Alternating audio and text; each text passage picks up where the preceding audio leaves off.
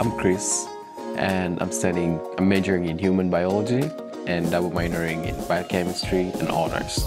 Um, one of the reasons why I picked USM when I was searching for colleges, uh, one thing that attracted me to it is the fact that it's, uh, it's not like a school which is like too big or too small, like the population is balanced.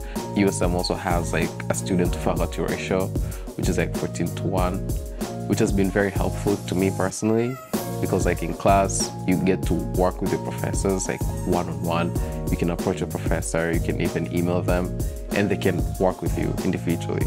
In one of my bio classes my biology professor Rachel Rusher who's also like my advisor we've had like a, a zoom conversation after after class and she was just like checking up like on how I was doing in classes and she was even offering to help me with like materials on how to study better and become like a better student in class. And also like USM has a lot of resources that students can use and take advantage of.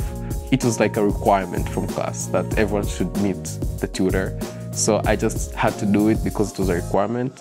But when I met the tutor, I was like, wow, this is a very good experience. It to be helping me out a lot. So just helped me to stay ahead.